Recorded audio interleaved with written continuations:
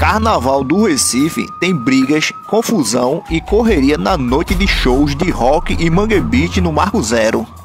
No estado de São Paulo, um temporal causa alagamentos e deixa cidades debaixo d'água. Em Santa Catarina, carro cai em cratera aberta de rodovia após deslizamento. Lula vai à África para discutir guerra e assinar acordo de bioenergia. Mocidade Alegre leva o bicampeonato do Carnaval de São Paulo e conquista o seu 12º título.